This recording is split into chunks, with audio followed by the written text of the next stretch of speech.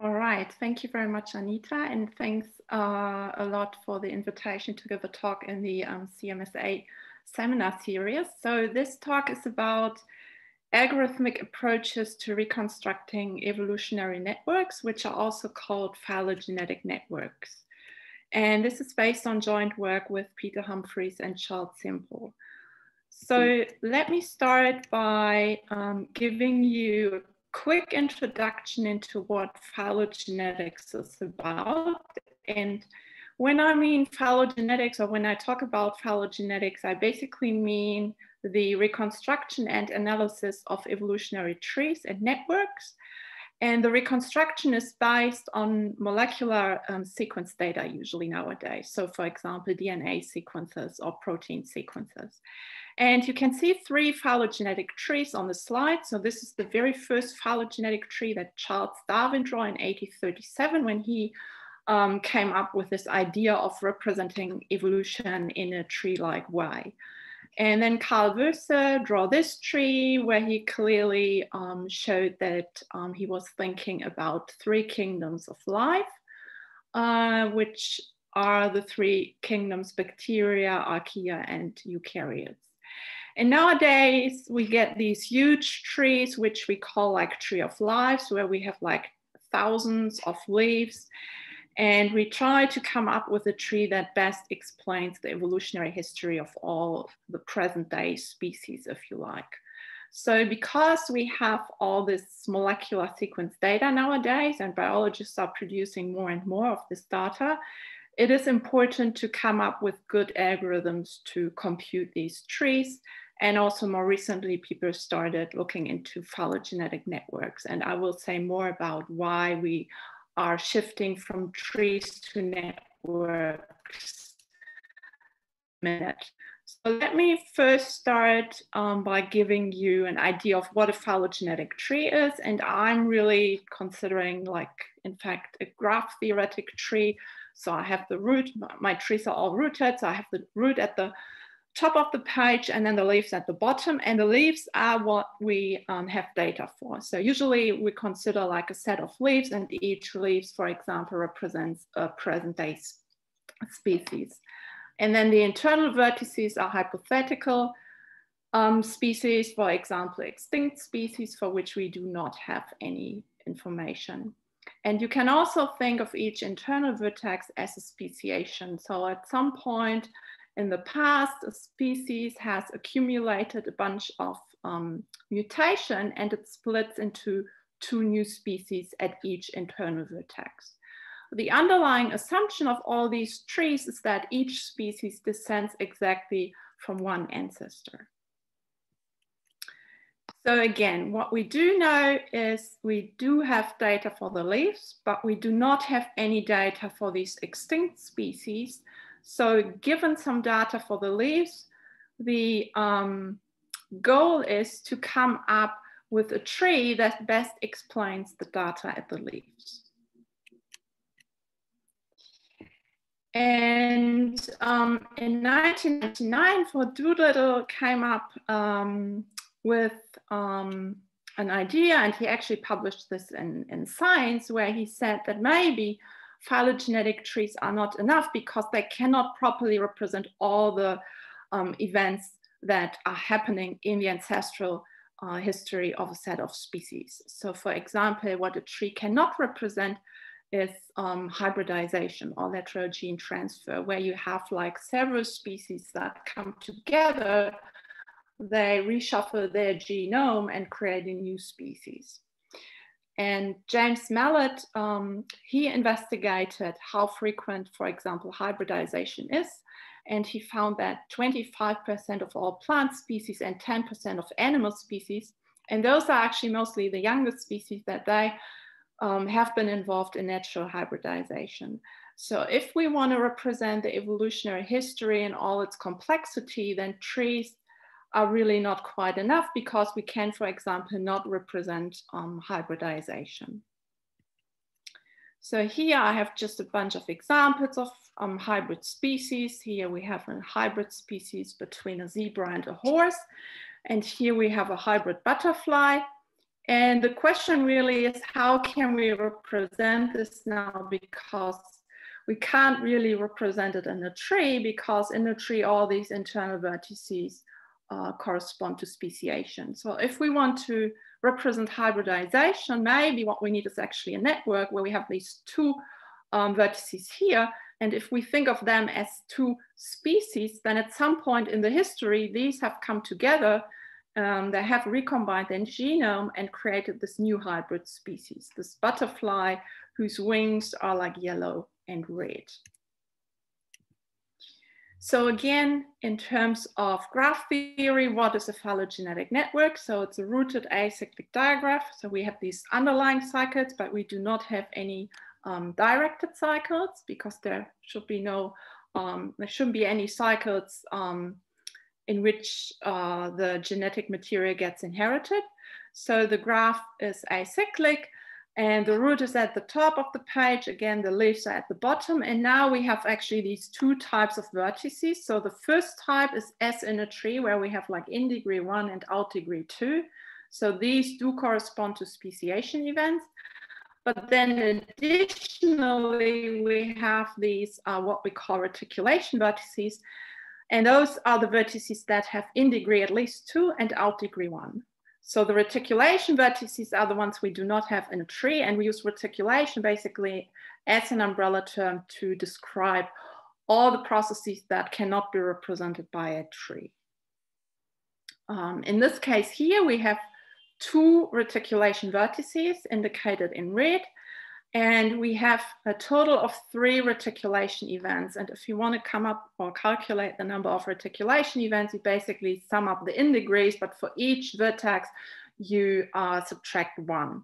So this uh, reticulation vertex, um, it contributes one reticulation event, and this reticulation vertex contributes two reticulation events. So as a take home message for the first five minutes, it's as a phylogenetic network? It's a tree with a cycle. And now let me um, start to talk about a problem that we have in uh, phylogenetics, which is basically that we want to have good ways to reconstruct these networks, these phylogenetic networks. And one idea that is around for about 15 years now is the idea of reconstructing networks from trees. So when you reconstruct trees, the first step is that you come up with what we call a sequence alignment. And you're given all these DNA sequences for all your species that you might be interested in. And you want to rearrange these sequences such that you identify regions of similarity by introducing these gaps, um, which are indicated here by hyphens. So basically what you like to see are these columns that have all the same nucleotides. So for example, this column here, it has only T's, which indicates some um, level of similarity.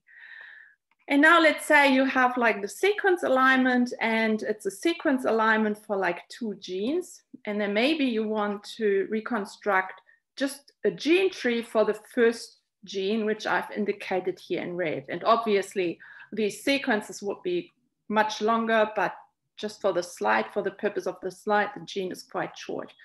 So let's say you um, reconstruct a gene tree for the red gene and what you come up with is actually the red tree. And then you can do the same for a second gene, the blue gene, and you come up with another tree. So you do have these two trees, they're not the same. So what do you do now? Maybe um, the reason why these tree differs is because of hybridization. For example, if you have um, considered like a bunch of plant species, it's likely that some hybridization have occurred in the um, history of these species. And now one idea would be to embed these two trees into phylogenetic networks. So this is a network on the same set of species from, from A to E. And you can see that the red tree is embedded in the network by just looking at the red edges. And similarly, the blue tree is also embedded in the network. And this network has one reticulation vertex and also one reticulation event. So before I give you like um, a problem statement, let me just say that this idea of a tree is embedded in a network is something I will call, um, or I will say that a network displays a tree in the rest of the talk. So if a network displays a tree T, then the tree is in fact embedded in the network. So this tree on the right-hand side of the slide is embedded in the network if you just look at the red edges. So this is what I mean by displaying. A network displays a tree or a tree is displayed by a network. And with this, I can give you like a problem definition, uh, which uh, it's the problem I want to focus on for the rest of the talk. So we're given like a bunch of phylogenetic trees as our input. They are all on the same set of leaves. And what we want to do is we want to reconstruct or find a phylogenetic network that displays all the trees. So each tree in the, in the input set and additionally, we want to find a network that does not only display the trees, but that also has the number of reticulation events minimized. So in this case here, again, this network is minimum because you, the trees are different. So you can't do any better than just one reticulation event. So what do we know about this problem? So as I've said, um, it was first stated, I think, in 2005. And um, it was shown that the problem is um, NP hard. And that's why people started looking at the problem for just two trees. Biologically speaking, that may not be really relevant because most of the times you want to consider more than just two trees. But because it's hard, uh, we needed to start somewhere. So the problem is hard.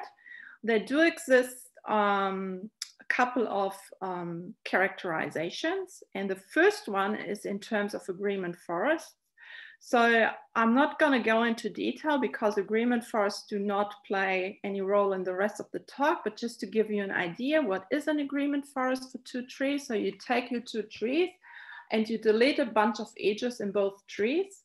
So the trees disconnect and each tree disconnects basically into a forest. And if the two forests that you obtain, one for each input tree, if these two forests are the same, then you would have an agreement forest for the two trees. And here, what you want to optimize or minimize actually is the number of trees in the agreement forest. And then the number of trees in the agreement forest minus one equates to the minimum hybridization number, which is the number of interest.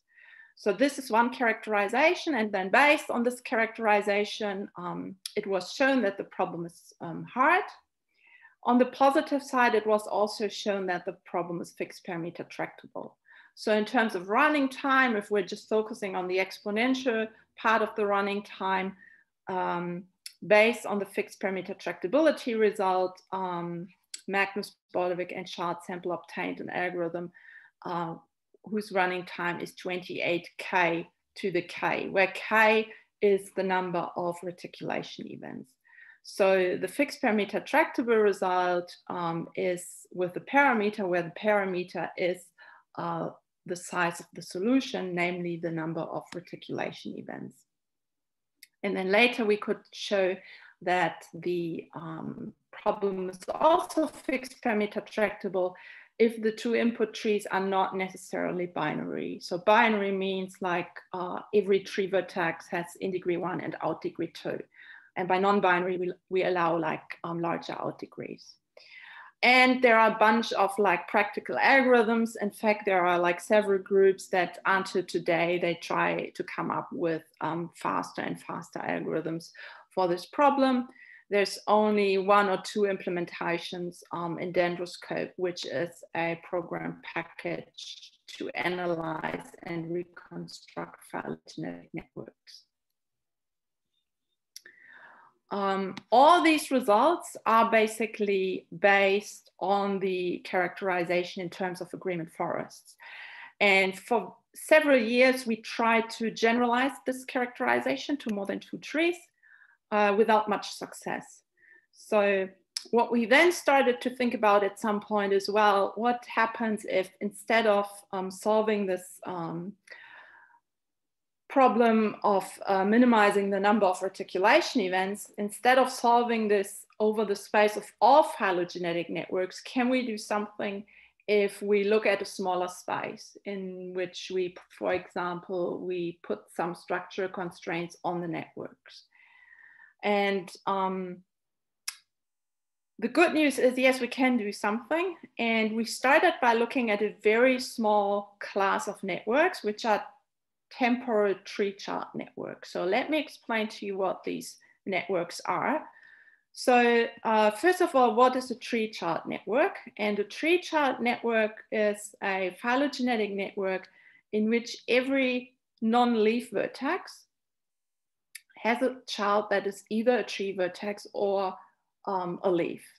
So in other words, what we can't have in a tree child network are these two configurations. One I call a stack, in which we have an edge that is incident with two reticulations. And we cannot have a so-called W either, where we have a tree vertex and both of the children of that tree vertex are reticulations. So if we do not have a stack in the network and we do not have a W, then the network is called tree child. So here we have an example of a non-tree child network because uh, we have this W configuration here, whereas this network is tree child. Another constraint that we put uh, on the networks is the so-called temporal constraint. So um, to display these hybridization events in a network, what you would think you need to observe in, in nature is that at some point, these two ancestral parents of this hybrid vertex, they must coexist in time because at some point they must meet, they come together and they reshuffle their genome and create this hybrid species. So there must be some time in the past where these three uh, red species have coexisted. And similarly for the second reticulation event here, these three green species, they also must coexisted at some point in the history. And when I talk to biologists, some will actually say, uh, we do not really care about this at all. So we do not care if these species have coexisted in time or not.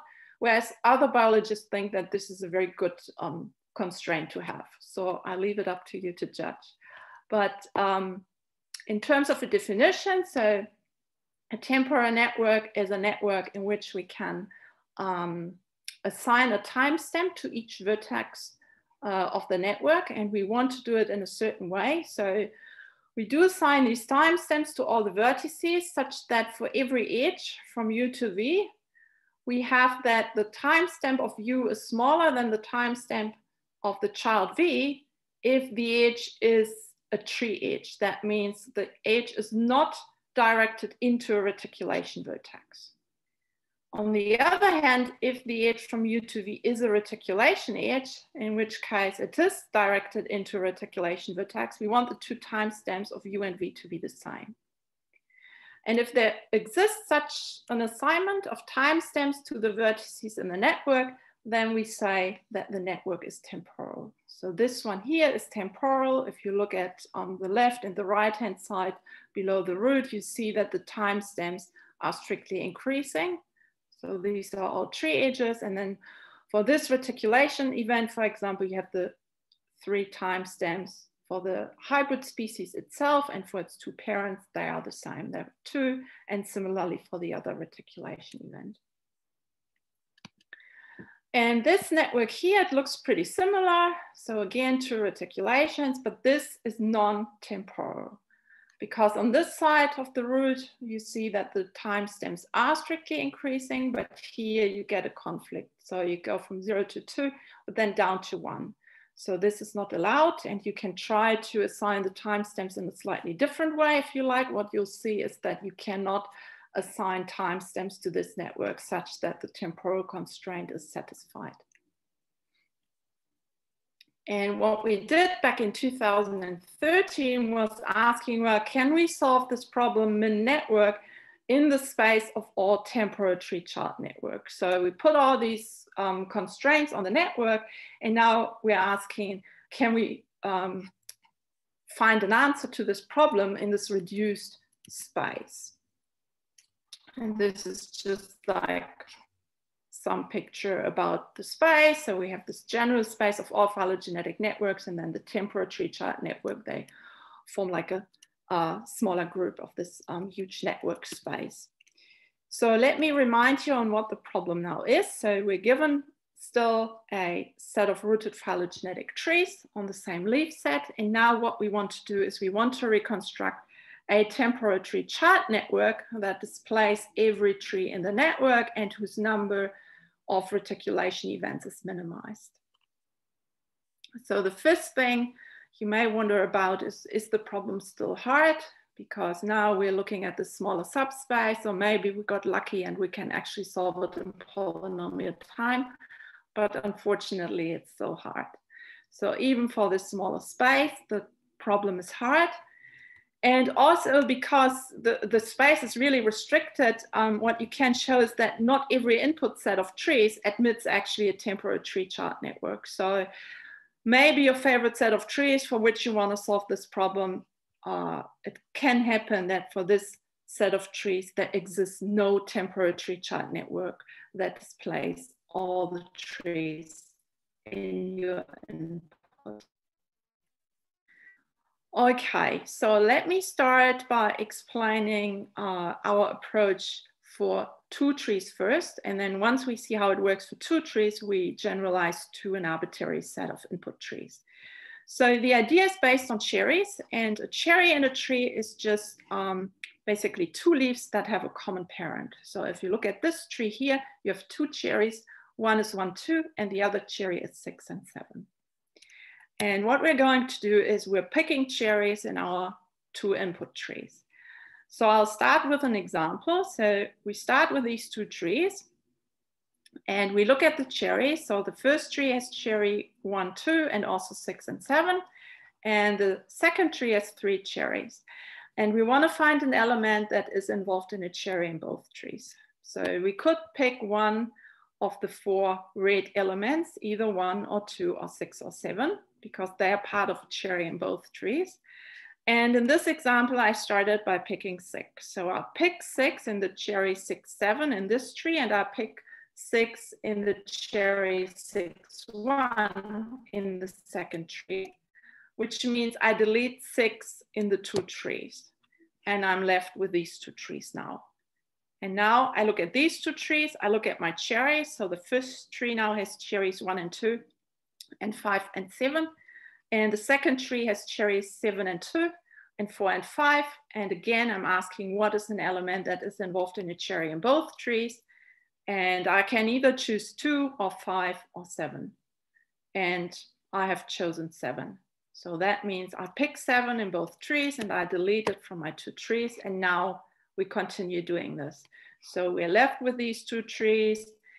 And now I can only pick four and five because I actually have a cherry four, five in both trees.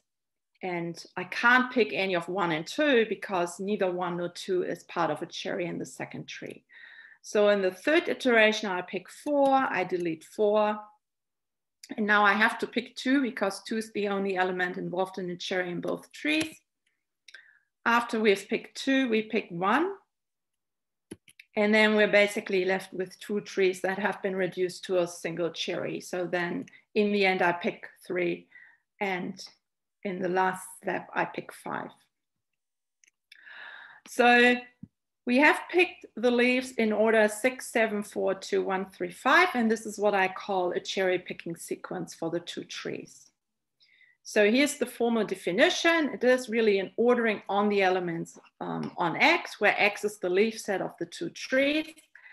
And at each step, I want to pick a label Li such that Li is in a cherry in both trees. So if this um, condition is satisfied, then the ordering is called a cherry picking sequence for the two input trees. Now, important here to note is that order does matter. So uh, when I talked you through the previous example, we had like a couple of iterations where we could choose like various elements. So I think in the previous example, I started by picking six or seven. What happens if we pick one, for example, as our first element? Because one is involved in a cherry in both trees as well, right? So we could pick one. we delete one, and then we could pick two. Two is involved in a cherry in this tree, two, three, and two is also involved in a cherry in that one. But once I've picked two, I'm left with these two trees and I can't pick anything now because this tree only has cherry six and seven and this tree only has cherry four and five. So there is no element that is involved in a cherry in both trees. So this means that no cherry picking sequence for the two trees starts with one and two. So order matters. We cannot start uh, with um, an arbitrary element that is involved in a cherry. That does not necessarily mean that uh, this will give us a cherry picking sequence for the two trees.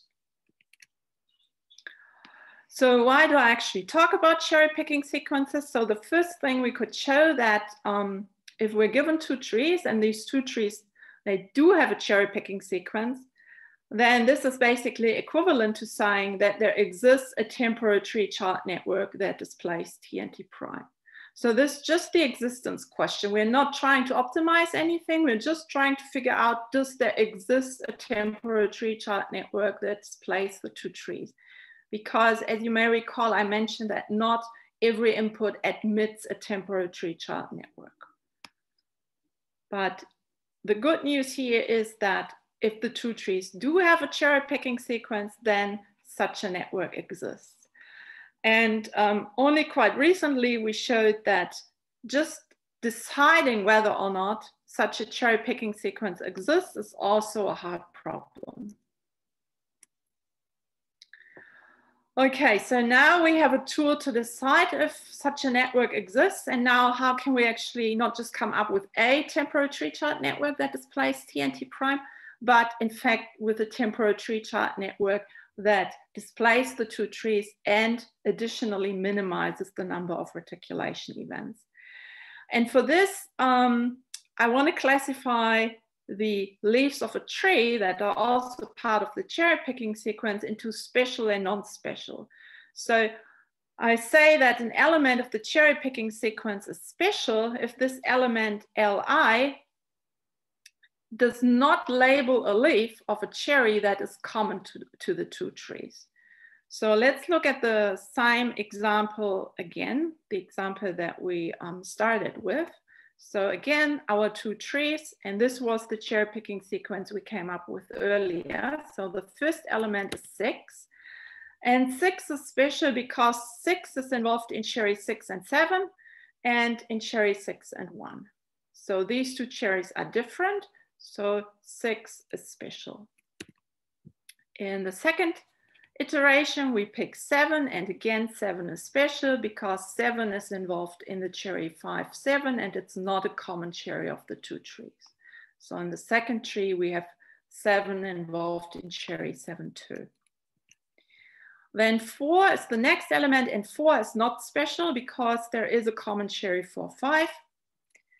Two is again special and then one is also special because we have two different cherries that involve one. And then the last two elements are never special. So three and five are not special. Now you may wonder, well, why are we doing this whole business about special elements? Well, it turns out that if we um, count the number of special elements and we come up with a cherry picking sequence whose number of special elements is minimized, then this actually equates to the number of reticulation events that we need to display the two trees in a network. So we use S of TNT prime to denote the minimum number of special elements in a cherry picking sequence for TNT prime. Over all cherry picking sequences, we want to find one uh, for which S of TNT prime is minimized. And then S of T prime, t and t prime, uh, this number equates to the minimum number of reticulation events that is needed to display T and T prime, the two input trees in a temporal tree child network. So that's for two trees. And now me try to explain how we can generalize this to more than two trees. So now we're considering like an input set of trees and it could be like um, a very large set of input trees. So we do need something that is in some sense between special and non-special because, for example, for three trees, you could have a situation where you have two trees that share a, a cherry, so one and two, for example, but then in the third tree, you do not have cherry one and two, but maybe you have cherry two and three. So now the question is, is that special or is it not special, right?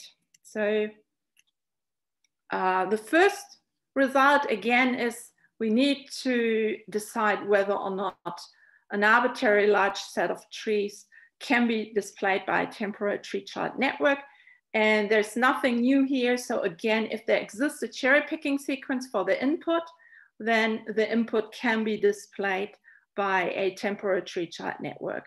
And the cherry picking sequence for collection of trees as before. So you want to find an ordering on the leaves such that the leaf labeled uh, the, the leaf is a part of a cherry in each tree of the input. So now to find the minimal number of reticulation events over all temporal tree child networks that display the input set, we um, again look at the cherries, but now instead of just saying it's special or not special, we assign a count to every um, leaf or to every element of the cherry picking sequence. So we have a cherry picking sequence sigma, and we look at each element in the um, sequence and we assign to that element a so-called cherry count um, C of i. And C of i is the number of distinct cherries that contain this um, leaf Li minus one. So let's have a look at this example here. So three trees now. And we start by picking six. So six is involved in cherry six, seven in the first tree, in cherry six, one in the second tree, and in cherry six, three in the third tree. So we have three distinct cherries that involve six. That means the cherry count is three minus one equals two. In the second iteration, we pick seven and seven is together with five in the first tree. Seven is together with two in the second tree and again with two in the third tree. So the cherry count for the second element is just two minus one equals one. And this is what we keep doing. So we pick four then, and four is actually in a common cherry of all three trees. So the cherry count is zero. Then we pick two and we have two different cherries, two and five in two trees and two and one in one tree. So the cherry count again is one. Then we pick one and its cherry count is one. And finally, for the last two elements, the cherry count is always zero. So that's the cherry count for every element in the cherry picking sequence. And then we compute the weight of the cherry picking sequence. And this is just the sum over all the um, cherry counts. So for this example here, the weight of the cherry picking sequence is five, just like two plus one plus one plus one. And now maybe you can already guess what we're trying to do here, what we're trying to minimize. We want to find a cherry picking sequence for the input set with a minimum weight. And then this minimum weight equates to the minimum number of reticulation events that we need to display uh, the set of trees in a temporal tree child network. So the theorem is the following. So we're given a set of input trees and suppose that there exists a temporal tree child network that displays every tree in the input, then the minimum number of reticulation events um, that we need to display the, two, the, the trees in P is the smallest weight of a cherry picking sequence for P over all such sequences. So we want to find a cherry picking sequence of minimum weight. So this solves the problem pretty much for this uh, really small space of temporal tree child network. And then more recently, we started to think about, well, what happens if we drop the temporal constraint? So now we're basically operating in the space of all tree child networks, which are the networks that do not have a stack and that do not have a W. And the good news is we can actually do something for tree child networks as well. So again, just a quick reminder, what's the problem now? If we look at tree child network, so we're given a set of trees and now we want to reconstruct a tree child network, maybe temporal, maybe not temporal, we do not care anymore, but we do want it to be tree child that displays the input. And again, we want to minimize the number of reticulation events. Um, of course, the problem remains NP hard. Uh, the good news here is that now, no matter what input you're interested in, you can give me any input you like. I can always find a tree child network for you. So this is quite good in comparison to the temporal tree child case because we could not always guarantee that such a network exists at all. Whereas for tree child networks, such a network exists. And again, Simone, um, sorry, quick question.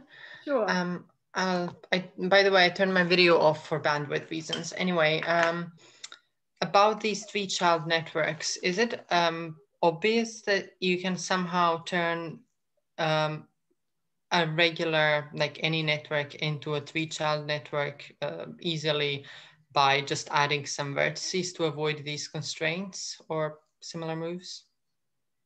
So it's true, you can always um, add more leaves to the network and make it tree child. Yeah, that's right. Mm -hmm. So one, one way to see existence is you just build any network and then you make it tree child. Um, but you need to be careful about your leaves, right? Because the trees all have the same leaf set. So what do you do? Like you start with a with a network, and then you you want to throw out leaves, I guess, right? Or okay, so it's yeah, so so it's not that simple. Um, it's you you want to preserve the same set of leaves. That's right. So you need to be a little bit more careful about the leaves because the trees always have the same leaf set, and you want to have a network that has also the same leaves. Okay, thanks. Okay. So um, let me explain um, how we can solve this problem in tree child space by also using cherry picking sequences. But now we slightly change the definition again of what we mean by cherry picking sequence. And all we require now is whenever we pick something is that we want the taxon or the leaf to be part of a cherry in at least one tree. So here I start by picking four in the first tree. And I say I pick the cherry four, five, but four really is only um, together with five in a cherry in the first tree. So four is together with one in the second tree, and over here four is together with three. So I pick cherry four, five, and because only the first tree has this cherry, I only delete four in the first tree. Okay, so this is different to what we've seen before where we always picked a leaf in all the trees. So now we're only picking leaves in some of the trees or maybe in all trees, but not necessarily at each step. So then after picking um, four in the first tree, we focus on cherry 4-1 and this is again only a cherry in one tree, the second tree. So I pick four in the second tree. So I always pick the first element in that um, tuple. So we have picked four from these two trees and now we pick another cherry and maybe we pick four, three, which is a cherry in the third tree. That means we delete four in the third tree. And now let's say maybe we pick cherry five, six. Five, six is again only a cherry in one of the three trees. So we pick five from the first tree. Then we pick cherry five, three. That means we delete five in the second tree. And then we delete five in the last tree, in the third tree by picking cherry five, eight. Now, what do we do now? So we pick cherry 2, 3, and 2, 3 actually is a cherry in each input tree. So this means we delete two in each of the three trees. And then we pick cherry three, one. And again, this is a cherry in all three trees. So we delete three in all three. And then we look at cherry six, seven. Again, it's a cherry in all three. So we delete six. Then seven, eight, we delete seven in all three trees. And then we're left with one and eight. And we first pick one and then we pick eight. So what is the weight now? So before the weight was uh, related to the cherry count, and now we look at the length of the sequence that we get. And we subtract the original number of leaves, which is the, uh, just the cardinality of x. x is the leaf set of the um, input trees. And this gives us the weight. So the weight of this cherry picking sequence is 12 minus 8 equals 4. So this was basically what I mean by tree child sequence um, by uh, using this example. And here is the formal definition of, of a cherry picking sequence in tree child space. So basically we have um, a sequence of tuples and every tuple except for the last one, it contains two elements of the leaf set. And we have one additional property. So the property is whenever we pick an element, which means that uh, it is an x coordinate, so it's the first coordinate, then we cannot see the same element later on as a y coordinate. So if we look at this sequence here, this is not a tree child sequence because the first tuple here, we pick four, and then later on, we see four as the second coordinate. And this is not allowed under this definition. Okay, so this is the only um, slight technicality here. But if we do pick uh, the leaves according to the definition of a tree child sequence, and we um, define the y to be the length of the sequence minus x, then we actually do get the following theorem namely for a set of rooted phylogenetic trees, the minimum um, weight of a cherry picking sequence equates to the minimum number of reticulation events that we need to display our input trees in a tree child network. So we can solve the problem for tree child networks as well using a cherry picking sequence approach. And uh, let me finish by just um, talking about a couple more good news. So we can extend this approach further and we can extend it so that it works um, in the most general setting where we consider all phylogenetic networks. It's more involved. And um, it's actually interesting, Nina, that you mentioned this already, that you can um, transform basically every phylogenetic network into a tree child network by adding um, leaves. And this idea is in fact also what we use to show how this approach extends to all phylogenetic networks by throwing in additional taxa or leaves. And we can also show that this approach works for binary and non-binary trees. So with the agreement forest approach, the agreement forest characterization that I mentioned before, it's really difficult to upgrade from binary to non-binary trees, whereas if you use cherry picking sequences, you almost get the non-binary uh, results for free. So this is quite easy. Um, it has all been published like last year. And there's also like a practical implementation of uh, the algorithm for tree child networks. And this is by um, a paper by Leo van Iersel and his group in the Netherlands.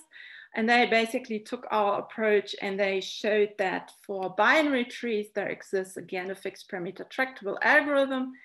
And it works quite quickly as long as the number of reticulation events is small. That means roughly between seven and 12. And they can show that their algorithm works for up to 100 input trees and each input tree with about 200 taxa. So I'll finish here and um, thank you very much.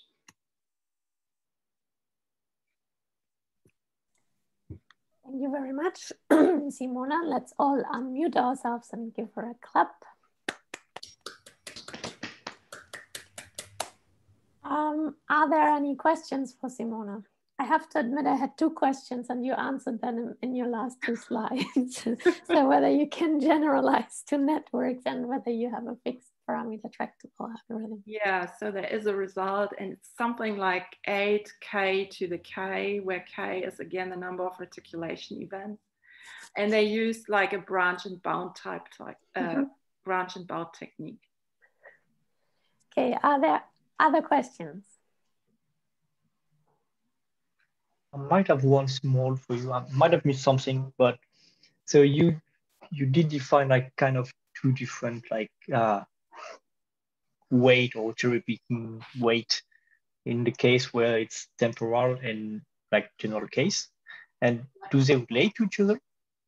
Or is that like what, what happens if you apply the second definition to the temporal case? You can, yeah, you can you can modify it slightly. Okay but because we we did it first for the smaller space so um, this is i guess why i give you i gave you the definition that that we first came up with for for the weight of the cherry picking sequence. Yeah and i have, I have another one. And you so even for the first case you show that even for two trees like the existence of cherry picking sequences npr npr and is there any way to like add some constraint to the tree in order to make that program not beyond, Like a constraint that would make sense in terms of biology or something. Sorry, I, I, didn't hear what you, what what you want to add? some constraint into the the tree. So the same way you add at one point a constraint to every temporal. Oh, I see. So that the problem is easier then. Yeah. I don't, I don't know if it's constraint. Yeah. Okay. I don't, I don't know of any constraint. Um, to solve this min network problem, um, yeah, so far we do not know if there exists like an even smaller space, something very special for which we can solve the problem in polynomial time. It would be interesting, but um, we just looked at something like a month ago where we were quite hopeful. It was really restricted, but even for that, uh, we think it, it might still be NP hard. okay. Thank you. Other more questions? Um, I have one. So um, you defined the two um, restrictions for the tree child networks. Is there any biological intuition to to them what they correspond to in evolution? Tree child network. So um, i guess the honest answer is no. So we do like tree child network from mathematical perspective because there are some problems which are hard in general but that you can solve in polynomial time for tree child networks. But yeah like for temporal networks i think this might be biologically relevant but for tree child networks, I'm, I'm less sure. So for me, it's really like from more like from a mathematical perspective that we say this is a, an interesting constraint to consider because sometimes um, questions that are hard in general become polynomial time solvable for tree child networks. Thanks. Okay, um, let me stop the video here. But before I do, let's all give uh, Simone another clap of applause for a very nice talk. Thank you. Thank you.